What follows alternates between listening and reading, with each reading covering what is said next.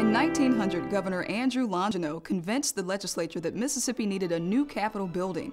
Financed with $1 million of back taxes owed by the railroads and built on the site of the old state penitentiary, the project began. St. Louis architect Theodore Link borrowed from different classical traditions in his lavish Beaux-Arts design. For the rotunda, he combined black marble from upstate New York with beautiful white marble from Italy. The Senate and House chambers feature domes of bohemian stained glass. Link also used what was then a very modern element hundreds of exposed electric light bulbs. The new Capitol opened on June 3, 1903.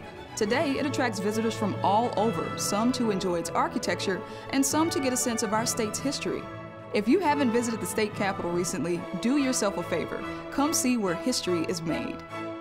This has been Mississippi, a thread through time.